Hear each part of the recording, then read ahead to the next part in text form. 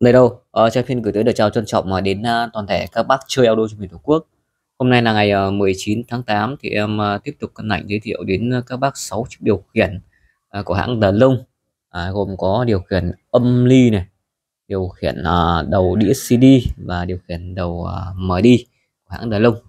À. Và em xin giới thiệu thì em ở thành phố Thủ Đức Hồ Chí Minh, số điện thoại em là 0907 23269. À, các bác có thể liên hệ trực tiếp hoặc các bạn Zalo uh, em đều được và đây là toàn bộ là hàng uh, khiển uh, bãi nhá khiển bãi nhật các bác nhá. Đấy, toàn bộ khiển bãi nhật. Đấy.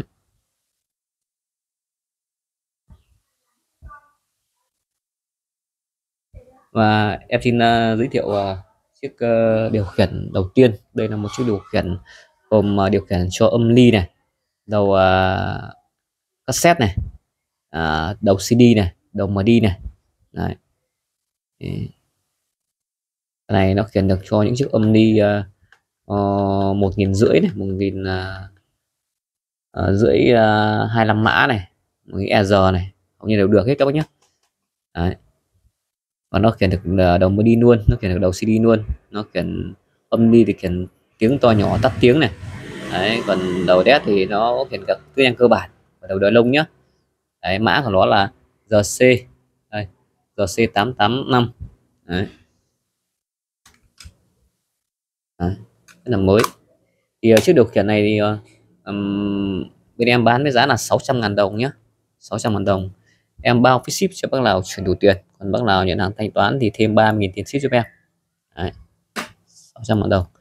À, tiếp theo đây là một điều khiển âm ly và kiêm điều khiển cả đầu CD luôn. Đấy, đầu CD luôn cũng của hãng đà lông màu trắng nhé Đấy. dòng này chắc là khiển được những dòng đời 390 thì phải các bác 390 à. Đấy, DZA 700E này DZ 700 DBA này. Rồi gồm các đầu CD của của của của đàn lông sản những đời 755 rồi là 1650 1630 1550 1530 Đấy. Ừ. đây cả âm đi cả CD thì uh, chiếc điều khiển này bên em bán ra là 600 ngàn đồng. 600 ngàn đồng. Uh, tiếp đến một chiếc uh, điều khiển của đầu uh, CD này ở đây. Cái này là CD của nó là RC1054 nhé Đấy. này thì chỉ khiển đọc CD không thôi đọc CD Đấy. giá 400 ngàn đồng 400 ngàn đồng ừ. cho các đầu chẳng hạn như là 755 uh, uh, AE FE gì đấy. đấy